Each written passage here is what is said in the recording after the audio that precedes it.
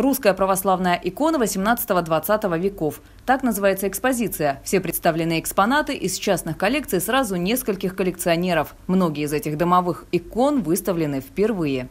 Это иконы как раз уже поздние, 19-20 века, которые уже сейчас стали раритетами и какой-то вот э, художественной э, и антикварной ценностью. Вот, ну, об иконах говорить сложно, поскольку это не только произведение искусства, но еще предметы культа. Вообще иконы никогда не подписывались, понимаете. Это вот мы знаем, там несколько имен. Так.